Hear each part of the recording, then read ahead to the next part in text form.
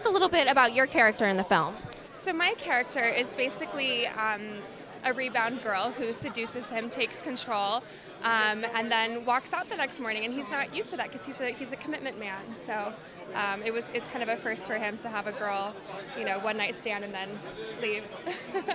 yeah. And you have such uh, an extensive history in modeling, correct? What do you think about acting now? Um, you know, I've, I've dabbled with it, um, starting with this film, and I have to say it's so different from modeling that I, I really enjoyed it, and I'm, I'm looking forward to hopefully doing more. So can we expect some more acting in the future, maybe some more film? I hope so. That's that's the plan. I've been living in London for the last year and a half, and I literally just came back to LA last week. So um, I'm hoping now to give the modeling a little bit of a break and start moving in that direction. So. And how does Los Angeles compare to London? I know the weather is very different. The, we- the weather is very different, and that was one of the most difficult things being in London. Um, I'm having to adjust now to a slower pace. I'm, I'm very much like, you know, let's get things done, let's go, and LA's just not like that. So. totally different. And what is the dating like in LA? Oh, wow. A whole different can of worms. Um, dating is very difficult here, I'll say that. I, I like to stay away. Any guys on the horizon at all? Summer fling? oh, no. it's all work.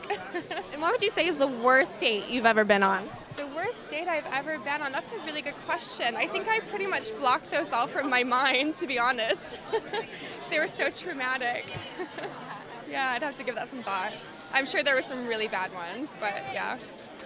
So, what would you say is the craziest modeling shoot you've been on? The craziest modeling shoot I've been on probably consisted of being attached to a parachute, and um, basically it looks like I'm parachuting. And um, yeah, somehow they made it look real. So I don't know how they did it, but yeah.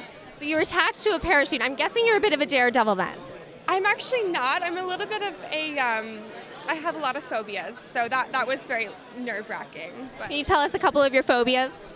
um, I'm deathly afraid of heights. Um, I'm terrified of water. I don't swim. I like to go on boats, but I do not get in the water. So So, no beach this summer while you're in LA? I'll look at it.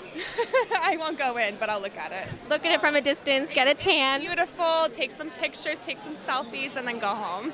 Yeah. And what would you say is the secret to a perfect selfie? The secret to a perfect selfie is lighting and angle. You have to get the height just right, and you have to get the lighting coming at you with a little bit of diffusion. Yeah. Okay, well, thank you. I'm going to go practice that.